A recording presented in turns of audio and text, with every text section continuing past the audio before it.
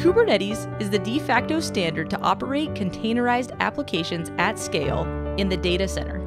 Containers have changed the way we build and manage applications, as well as changed the role of system administrators. The Linux Foundation and Cloud Native Computing Foundation's Kubernetes Fundamentals course covers the ongoing tasks necessary for Kubernetes administration. This includes how to install and configure a production grade Kubernetes cluster, configure networks, and make deployments available via services.